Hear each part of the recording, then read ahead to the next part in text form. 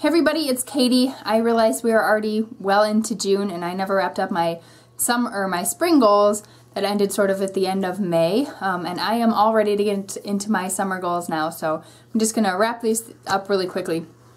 Uh, just to go down the list, for family sort of activity goals, I wanted to take Alice to a Gymboree class, and I did that. They just do like one free class you can go check out.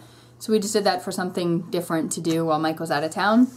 Um, I wanted to keep up a little bit better with the weekly sort of free papers and what you know what was going on around town, um, especially free events.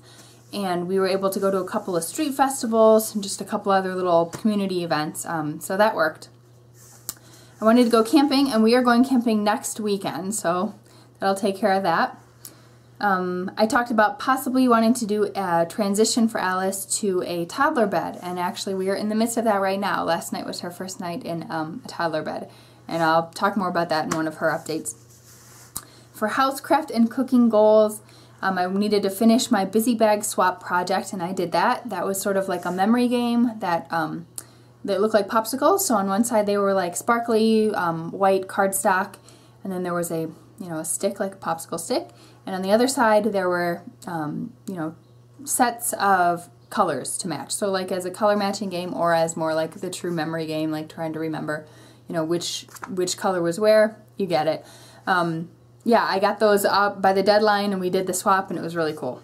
Gardening. So gardening was a little bit of a fail this year. I, may, I basically just have herbs. Um, I had radishes early in the spring, but I never ended up putting in any summer vegetables. Um, it is really hard to grow anything except really chili peppers here in the summer. So I am looking forward to doing like a little bit of a shoulder um, shoulder season crop in the fall. Um, maybe some more greens and um, more radishes, beets, that kind of stuff when it starts to cool off, which will probably not happen until beginning of October. Um, freezer meals. Okay, I did this. I made two freezer meals and I don't remember, I only remember one of them was like a chickpea sweet potato curry and then I did something else that I don't remember. Um, I also froze some cookie dough. Um, I made a video about icebox shortbread cookies that I make and freeze the dough.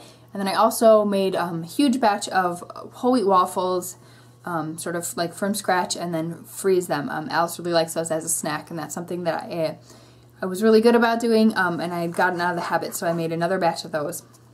For crafty stuff, I am currently making one of her birthday gifts, which is going to be like a cape like a just a cape to pretend she's flying around with Super Alice.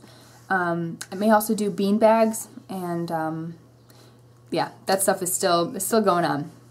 I wanted to check out a brand new consignment shop, um, like a children's resale shop here in town. Um, it opened about six months ago. I did go um, just in this past week. I didn't end up taking anything to sell yet, but um, I was really impressed by the store and I got Alice a good pair of Stride Rite shoes for 10 bucks. Um, they're like brand new. And I also found her a toddler bed.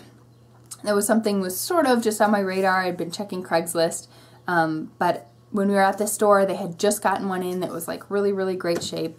We got a really good deal on it, um, so that's the bed we're using now.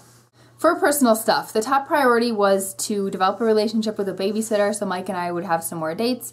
And honestly, um, this season, uh, our budget really hasn't allowed for any, for like paying a babysitter and going out for a date. Um, we just didn't have the budget for it. So um, we did go on two dates though. We went on just a little lunch date and Alice stayed at school for an extra hour. Um, that was really nice just to have like some time, you know, out outside of the house and um, in the middle of the day when we still have lots of energy and stuff.